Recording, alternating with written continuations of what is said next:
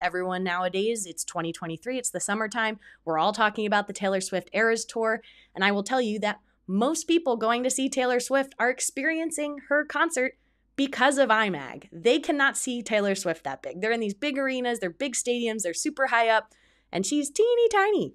But if they're using IMAG or using you know cameras to magnify the person's image on the screen it's so much easier to see you're still feeling like you have pretty decent seats no matter where you are so you'll see this in concerts you'll see this utilized in sporting venues especially anything that has really big super large groups I'm Logan Clements. I'm a freelance event producer based in Seattle, Washington, executing events all over the world.